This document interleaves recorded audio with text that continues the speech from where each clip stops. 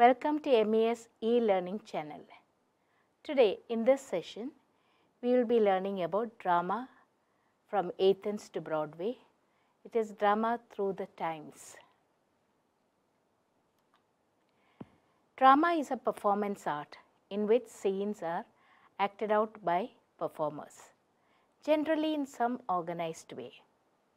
Now, irrespective of culture or irrespective of time, drama has been around for a long time and it has entertained people. The Western drama has been shaped by a number of influences over the centuries. And it has all started with the Greek theatre somewhere around the 5th and the 4th century BC.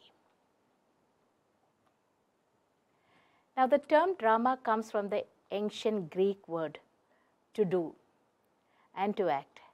And this is where all this tradition began. Now, over a period of time, this has also changed and uh, the term uh, you know has been going through a different kind of emotions we could say. Now, uh, we will see what is this classical drama.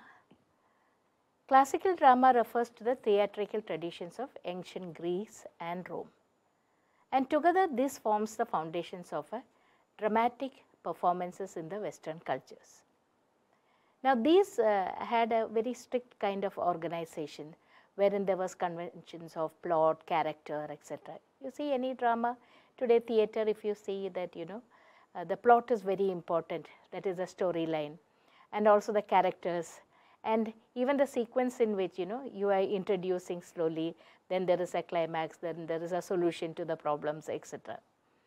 For most part we can cate categorize all classical dramas into three types that is either they are a tragedy that is you know usually a sad ending or a comedy with a happy ending and a lot of laughter and other things or it could also be satire plays.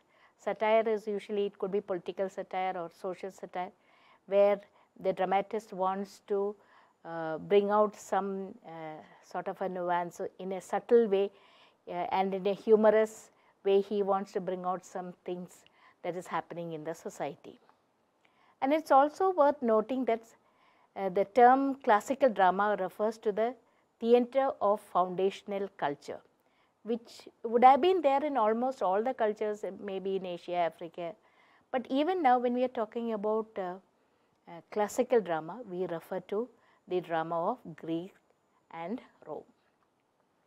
The earliest Greek uh, Uh, influences in the classical uh, theatre that around uh, 700 BC you could see that you know the classical theatre started evolving and it was there for quite some time and later on it was the Romans who came and made it a part of their culture also. Theatre was institutionalized as a uh, you know festival for Dionysia. It was for honoring the god Dionysius at that time. And uh, it was uh, you know for example nowadays it has evolved and today drama is more of like an what do you say a conflict of emotions. The initial types of drama that is comedy and tragedy these refer to the dramas in the 19th century and uh, here the theatrical uh, performance was neither one nor the other.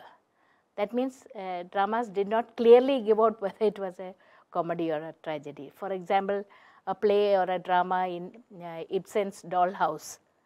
This has been directed and performance by many theatre groups and has been studied as a part of literature.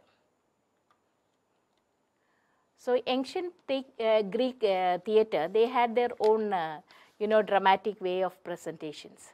Like they had a Greek chorus, that is a group of people who would be sitting and repeating some of the key words that is there in the drama.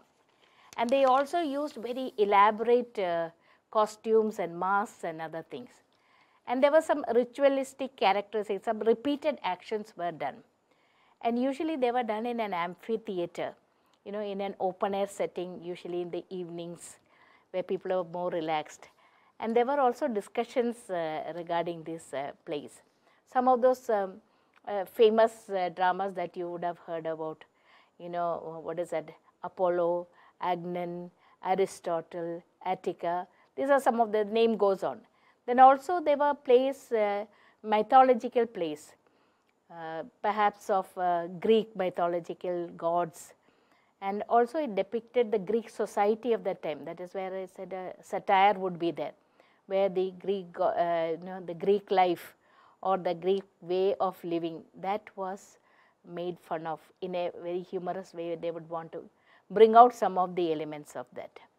So, we can say that most of these uh, dramas were very theatrical in nature with high levels of costumes, uh, masks and other things and it uh, brought out a larger than life to the uh, front of the audience. Now, if you say the most significant playwrights of Greek tragedies, this is uh, Aeschylus, Sophocles and Euripides. Uh, uh, there is also Aristophanes and Menander. I mean, uh, here if you can see these three, the first three, uh, they are called as the uh, three greatest of all uh, tragedians because most of their dramas related to a tragic outcome of what was there. Uh, some of them were also lyrical uh, lyricists or they wrote the drama in a lyrical manner and also they were comic writers. Um, but uh, Greek tragedy is a part of most educational uh, courses. The Greek tragedies are very famous because they follow a very classic structure and uh, there are very familiar, most people are familiar with the uh, roles of the chorus or the group of people who communicate a story on its own. So, it was among the Greeks that the greatest of the writers uh, who actually brought out the beauty of the um, drama.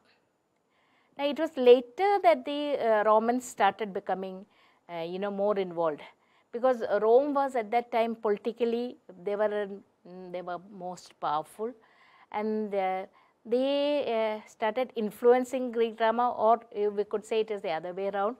The Greek dramas, they put in some more Roman elements that is somewhere around 250 BC and they uh, brought out the uh, aspect of music, the musical elements like orchestra and singing.